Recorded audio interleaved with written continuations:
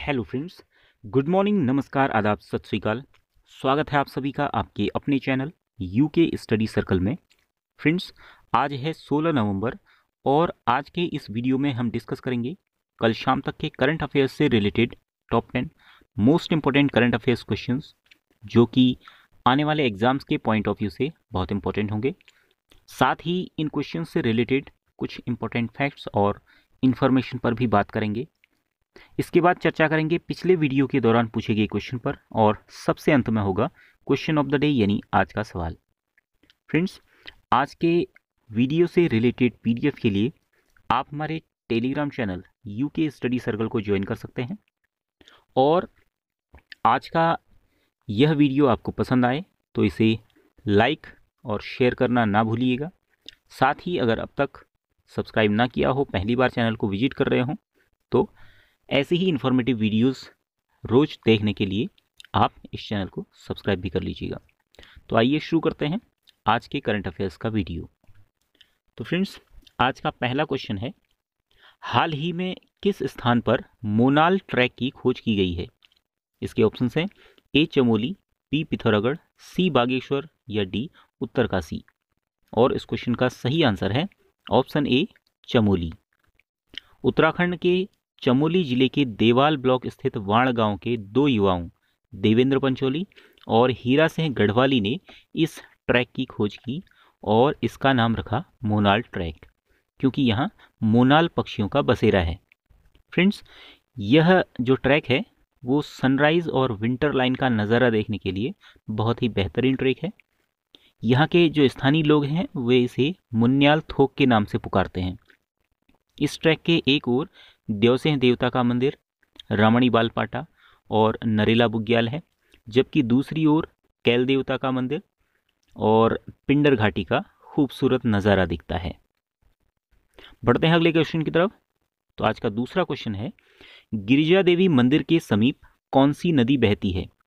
इसके ऑप्शन हैं A Kali B Kosi C Yamuna या डी अटागाड़ और इस क्वेश्चन का सही आंसर है ऑप्शन बी, कोसी नदी। गिरिजा देवी मंदिर उत्तराखंड का बहुत प्रसिद्ध मंदिर है और इस मंदिर को स्थानीय भाषा में गर्जिया मंदिर भी कहते हैं। नैनीताल ज़िले के रामनगर में कोसी नदी के समीप यह गर्जिया देवी मंदिर स्थित है। यह मंदिर कोसी नदी के बीच एक विशाल चट्टान पर बनाया गया एक पवित्र शक्ति मंदिर है। फ्रेंड्स, आपको ज्ञात होगा कि देवी गिरजा हिमालय राज हिमांचल की बेटी और भगवान शिव की पत्नी है। इस मंदिर का पुनर्निर्माण 1970 में कराया गया था। बढ़ते हैं अगले क्वेश्चन की तरफ़। तो आज का तीसरा क्वेश्चन है, वीर चंद्र सिंह गढ़वाली का समाधि स्थल कहाँ है? इसके ऑप्शन हैं, A Gopeshwar, B Attari, C Peshawar या डी कोदिया बगड़ और इस क्वेश्चन का सही आंसर है ऑप्शन डी कोदिया बगड़ हाल ही में गैरसैंण में वीर चंद्र सिंह गढ़वाली की समाधि स्थल कोदिया बगड़ में मुख्यमंत्री त्रिवेंद्र सिंह रावत द्वारा दौरा किया गया। फ्रेंड्स, यह स्थल कोदिया बगड़ पौड़ी, चमोली और अल्मोड़ा ज़िले की सीमा से लगे दूधातोली क्षेत्र में है। गैरसैण में भराणीसैण विधानसभा का नाम चंद्र सिंह गढ़वाली के नाम पर ही रखा गया है। बात कर लें चंद्र सिंह भंडारी के बारे में तो इनका जो मूल नाम चंद्र सिंह भंडारी है, उनका जन्म हुआ था 25 दिसंबर अठारह सौ इक्यानवे को पौड़ी ज़िले के मासो गाँव में और इनकी पुण्यतिथि 1 अक्टूबर उन्नीस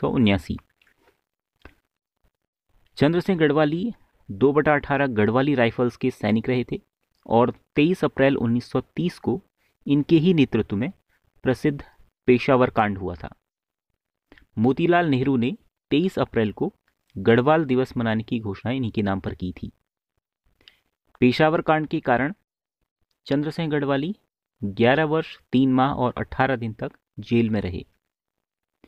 इनका मूल नाम चंद्र सिंह भंडारी था और इनको जो गढ़वाली उपनाम दिया गया था तो ये गढ़वाली उपनाम इन्हें महात्मा गांधी द्वारा दिया गया। उन्नीस सौ चौरानवे में चंद्र सिंह गढ़वाली के नाम पर एक रुपये का डाक टिकट भी भारत सरकार द्वारा जारी किया गया। अगला क्वेश्चन है, किस स्थान पर उत्तराखंड भाषा संस्थान स्थापित किया जाएगा? इसके ऑप्शन हैं A Dehradun B Gairsain C Haridwar या डी गोपेश्वर। और इस क्वेश्चन का सही आंसर है ऑप्शन बी गैरसैंण। गैरसैंण को 4 मार्च 2020 को ग्रीष्मकालीन राजधानी के रूप में घोषित किया गया था और 8 जून से ये ग्रीष्मकालीन राजधानी के रूप में कार्यरत है। ग्रीष्मकालीन राजधानी बनने के बाद से गैरसैण में विभिन्न संस्थानों की स्थापना का काम भी शुरू हो चुका है। गैरसैण चमोली ज़िले का एक विकासखंड है और एक तहसील क्षेत्र भी है। फ्रेंड्स, साथ ही यहाँ बात कर लें कि गढ़वाली, कुमाऊनी और जौनसारी भाषा अकादमी, ये नई दिल्ली में है। नेक्स्ट क्वेश्चन है, राष्ट्रीय जल पुरस्कार 2019 में राज्यों की श्रेणी में प्रथम स्थान किसे मिला है? इस क्वेश्चन के ऑप्शन हैं। महाराष्ट्र, केरल, मध्य प्रदेश या फिर तमिलनाडु। इस क्वेश्चन का सही आंसर है ऑप्शन डी तमिलनाडु को। उपराष्ट्रपति एम वेंकैया नायडू द्वारा साल 2019 के राष्ट्रीय जल पुरस्कार हाल ही में प्रदान किए गए हैं। यह इन पुरस्कारों का दूसरा संस्करण है। इस इन पुरस्कारों में राज्यों की श्रेणी में तमिलनाडु को सर्वश्रेष्ठ राज्य का पुरस्कार मिला है। और तमिलनाडु के बाद महाराष्ट्र दूसरे और राजस्थान तीसरे स्थान पर हैं। इस अवसर पर जल शक्ति राज्य मंत्री रतनलाल कटारिया पद्म भूषण एवं प्रसिद्ध पर्यावरणविद अनिल प्रकाश जोशी और राष्ट्रीय स्वच्छ गंगा मिशन के महानिदेशक राजीव मिश्रा भी शामिल थे। यहाँ सर्वश्रेष्ठ राज्य स्पेशल कैटेगरी में पहला स्थान मिला मिजोरम को और उत्तराखंड के कोसी पुनर्जनन अभियान को फिर से 2018 के बाद 2018 में पहले मिला था राष्ट्रीय जल अवार्ड और अभी फिर से राष्ट्रीय जल अवार्ड प्राप्त हुआ है। यह अवार्ड इसे नॉर्थ जोन कैटेगरी में प्राप्त हुआ है। नॉर्थ जोन कैटेगरी में ग्राम पंचायत स्तर पर रुद्रप्रयाग के जखोली ब्लॉक की ग्राम पंचायत लुठिया को पहला स्थान मिला है। नेक्स्ट क्वेश्चन है, हाल ही में प्रोजेक्ट एयर केयर का अनावरण किस राज्य सरकार द्वारा किया गया है? इसके ऑप्शंस हैं A Uttar Pradesh B Punjab C Haryana या डी मध्य प्रदेश। और इस क्वेश्चन का सही आंसर है ऑप्शन सी हरियाणा। हरियाणा के मुख्यमंत्री मनोहर लाल खट्टर ने गुड़गांव में बढ़ते वायु प्रदूषण से निपटने के लिए प्रोजेक्ट एयर केयर की शुरुआत की है। वायु गुणवत्ता में सुधार करने के लिए 65 wing augmentation air purifying unit को गुड़गांव के उच्च वायु गुणवत्ता सूचकांक क्षेत्रों में स्थापित किया जाएगा। इन एयर प्यूरिफायर को C S I R NEERI और आईआईटी मुंबई द्वारा विकसित किया गया है। फ्रेंड्स, यहाँ पर हरियाणा के बारे में कुछ इंपॉर्टेंट फैक्ट्स के बारे में बात करते हुए चलते हैं। हरियाणा की राजधानी चंडीगढ़ है और हरियाणा राज्य का गठन किया गया था एक नवंबर 1966 को। वर्तमान में हरियाणा के राज्यपाल हैं सत्यदेव नारायण और मुख्यमंत्री हैं मनोहर लाल खट्टर। हरियाणा के प्रमुख नृत्य हैं धमाल घूमर गुग्गा, खोरिया, लूर और फाग। हरियाणा एनीमिया मुक्त भारत सूचकांक में शीर्ष स्थान पर है। बढ़ते हैं अगले क्वेश्चन की तरफ़। राष्ट्रीय आयुर्वेद दिवस कब मनाया गया? इसके ऑप्शंस हैं ए 11 नवंबर, बी 12 नवंबर, सी 13 नवंबर या डी 14 नवंबर। और इस क्वेश्चन का सही आंसर है ऑप्शन सी 13 नवंबर को। राष्ट्रीय आयुर्वेद दिवस 13 नवंबर को मनाया। गया वर्ष 2016 से प्रतिवर्ष धन्वंतरी जयंती के दिन राष्ट्रीय आयुर्वेद दिवस मनाया जाता है। इस वर्ष 13 नवंबर को पांचवा आयुर्वेद दिवस मनाया गया है। प्रधानमंत्री मोदी द्वारा इस अवसर पर गुजरात के जामनगर में और राजस्थान के जयपुर में राष्ट्रीय आयुर्वेद संस्थान का उद्घाटन किया गया है। फ्रेंड्स धन्वंतरी एक महान चिकित्सक थे। इन्हें आरोग्य का देवता भी कहा जाता है। और धन्वंतरी चंद्रगुप्त द्वितीय के नव रत्नों में से एक भी थे। बढ़ते हैं अगले क्वेश्चन की तरफ़। Tata literature live lifetime achievement award से किन्हें सम्मानित किया जाएगा। ऑप्शंस हैं, A Keshav Sharma, B Ruskin Bond, C Chetan Bhagat या डी अरुंधति रॉय। और इस क्वेश्चन का सही आंसर है option B Ruskin Bond Tata literature live lifetime achievement award किसे मिल रहा है? रस्किन बॉन्ड को. रस्किन बॉन्ड अंग्रेज़ी भाषा के एक विश्व प्रसिद्ध भारतीय लेखक हैं। इन्हें 21 नवंबर 2020 को यह पुरस्कार प्रदान किया जाएगा। रस्किन बॉन्ड अपने सभी लेखनों के माध्यम से प्रकृति प्रेम दर्शाने वाले भारत के पहले साहित्यिक इको वॉरियर कहे जाते हैं। रस्किन बॉन्ड का जन्म ब्रिटिश भारत के कसौली में 19 मई 1934 को हुआ था। ये ब्रिटिश मूल के हैं।